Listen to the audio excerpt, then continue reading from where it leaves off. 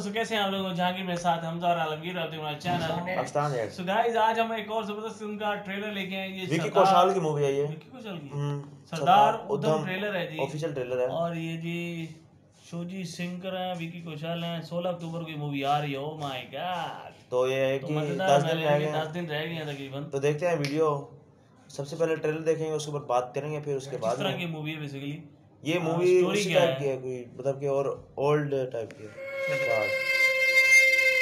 मैंने स्टार्टिंग थोड़ी सी never forgive their enemies.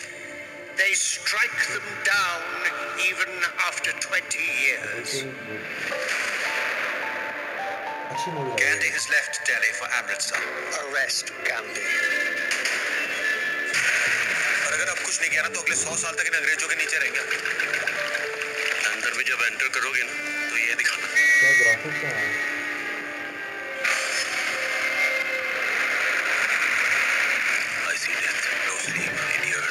years. लग रहा है मुझे मंडे को चर्च फ्राइडे को सिनेमा हॉल और सैटरडेज को club the freedom of your people. You should be there. I fight different way. तुम चले जाओ यहाँ से अगर हमने यहाँ लंदन में ब्रिटिश के हार्ट में कुछ कर दिया हमारा मैसेज पूरे वर्ल्ड तक जाएगा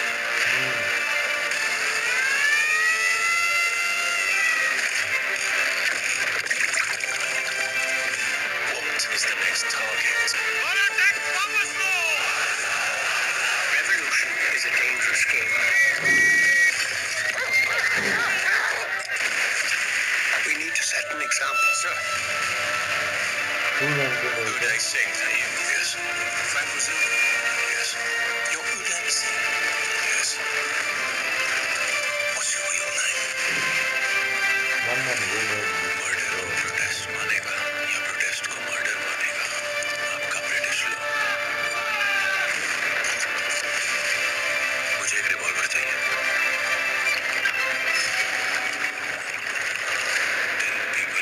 revolutionary.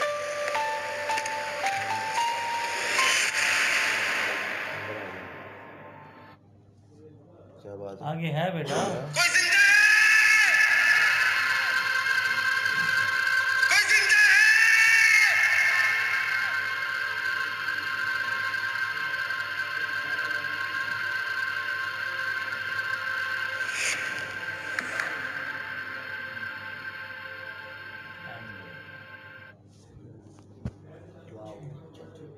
यार को बोले ना रास्ता बोलो दरवाज़ा बंद कर दो।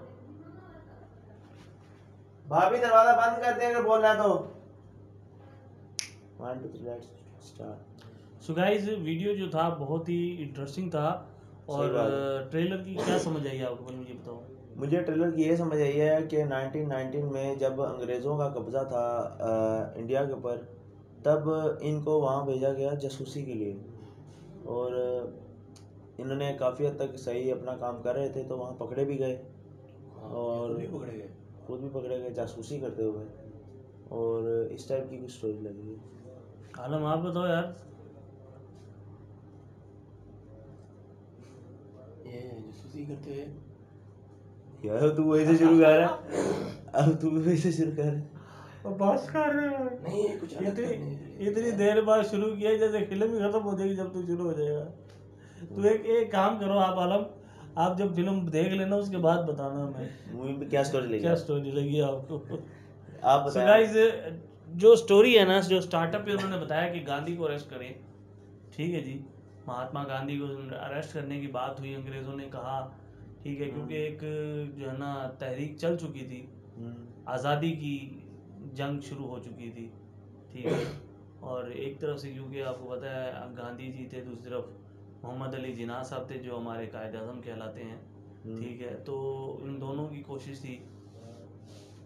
तो इस तरह की ये बात चली तो उसके इसके साथ साथ कुछ ऐसे लोग भी थे जो अपने तहत अपने मुल्क को आज़ाद कराना चाहते थे। उनमें से सरदार उधम साहब थे ठीक है?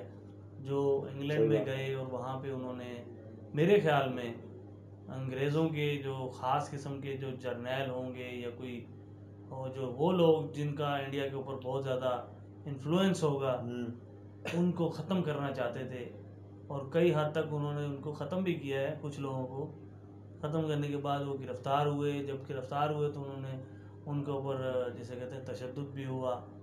और फिर उसको कहा गया पूछा गया कि बताओ इसके अलावा कौन टारगेट है? अगला टारगेट कौन है? मतलब? जासूसी के लिए वो जासूसी ही के करके मार भी दिया ना। हम्म, ठीक है।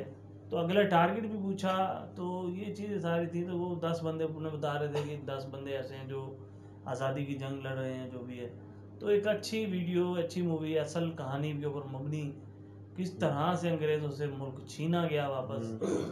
ठीक है और किस तरह से जो है ना मेहनत हुई मुशक्क़त हुई हर बंदे की अलग अलग कहानी है सबने अपनी अपनी तरफ़ से भरपूर कोशिश की। सही बात। फिर जाके ये देश आज़ाद हुआ आपका हो या हमारा हो ठीक है? तो ये बेसिकली उसी बेस के ऊपर ये मूवी है और बहुत इंटरेस्टिंग है। मैं खुद देखना चाहूँगा क्योंकि कहीं ना कहीं इसकी इसकी ये जो स्टोरी है ये जो स्टोरी है ये कहीं ना कहीं हमारे साथ भी जुड़ी हुई कहीं ना कहीं नहीं हमारे साथ ही जुड़ी हुई है। ये नहीं कह सकते कहीं ना कहीं।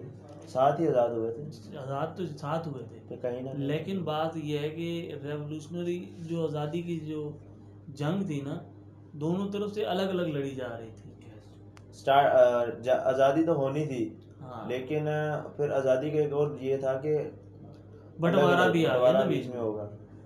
तो बंटवारे की वजह से जो है ये फिर जंग अलग अलग हो गई ना। हम्म, ठीक है पहले तो अंग्रेज़ों से छुड़वाना था उसके हम्म। बाद फिर एक और जो आई वो ये था कि हमें अपना देश चाहिए। हम्म। ये वाला।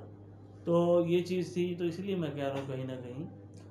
सो गाइज़ ये था वीडियो। आपको हमारा एक्शन कैसे गया ज़रूर बताना। जानने से पहले हमारे चैनल को सब्सक्राइब करें लाइक करें एंड की वॉचिंग पाकिस्तान